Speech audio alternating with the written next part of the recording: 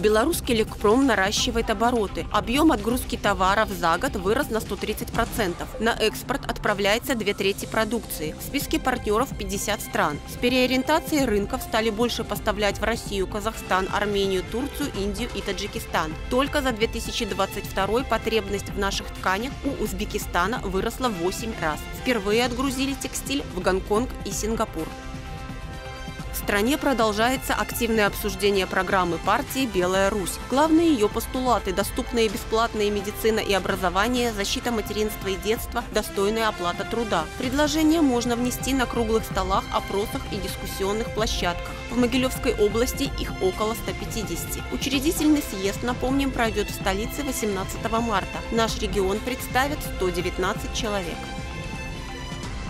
В Беларуси официально разрешили менять свои ФИО на псевдоним, но при наличии уважительных причин. Это может быть неблагозвучность собственного имени, отчества или трудность их произношения, желание носить общую с другим супругом фамилию или вернуть добрачную, если об этом не было заявлено при разводе. Подать заявление в ЗАГС можно по достижению 16 лет. Услуга стоит 74 рубля.